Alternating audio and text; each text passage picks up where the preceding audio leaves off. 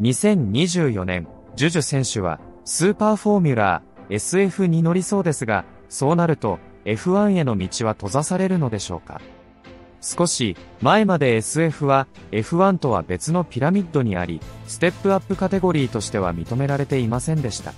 SF から F1 に行ったストフェル・バンドーン選手やピエール・ガスリー選手は F2 の前身の GP2 で優勝しており、F1 への資格は持っており、F1 のシートが開くのを待っている間だけ参戦していました。しかし、今年2023年2人の登場人物により、状況が変わりました。1人は、トヨタ自動車の豊田昭夫会長です。そしてもう1人は、リアム・ローソン選手です。ローソン選手は2021年、2022年と F2 に参戦しました。F2 での成績、2021年は総合9位で、スプリントレースでの優勝が1回あります。2022年は総合3位で、スーパーライセンスポイントを40ポイント獲得して F1 への最低限の資格を手にしました。しかし、総合3位とはいえ、フィーチャーレースでの優勝経験はなく、3位表彰台が最上位と F1 ドライバーになるには物足りなかったようです。2023年、アルファタウリ F1 チームのシートがガスリー選手移籍により空きましたが、ローソン選手が座ることなく、代わりにニック・デフリース選手が座ることになりました。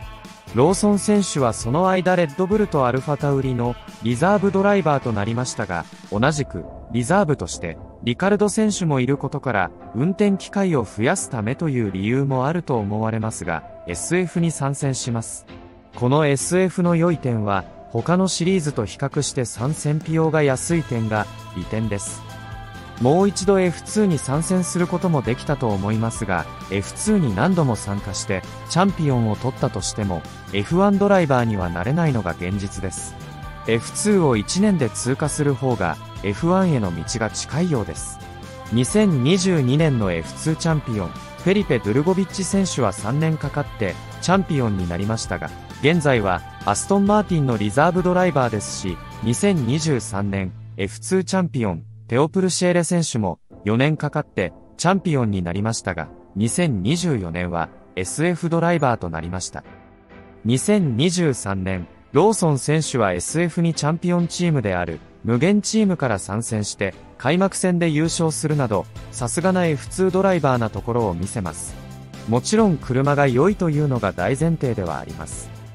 一方、F1 では、アルファタウリに乗ったデフリース選手の成績が振るわず、半年でクビになります。ここでまたアルファタウリのシートが開くわけですが、ローソン選手ではなく、リカルド選手が選ばれます。しかし、そのリカルド選手が怪我をして、ローソン選手にチャンスが回ってきました。F1 に乗ったローソン選手は、想定より頑張ったと思いますが、それでも、すごいことはなく、リカルド選手の復帰とともにシートを返します。ローソン選手が F1 に参戦したことで、一つの基準ができました。F2 で3位になって、F1 でもそこそこ走れる選手。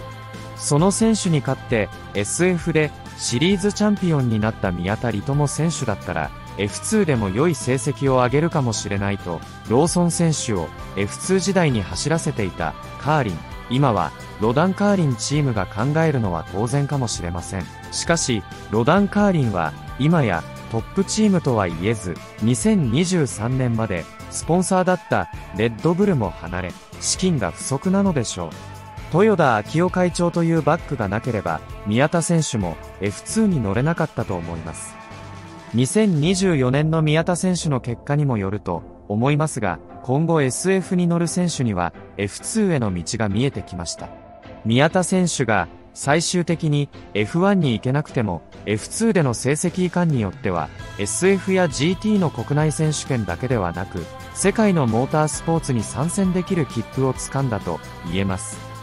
そして2024年の SF も2023年 F2 でのチャンピオンであるプルシェール選手や4位だった岩佐選手が参加するのでこれらの選手を抑えて優勝すればそこからの F2 はまたあるかもしれません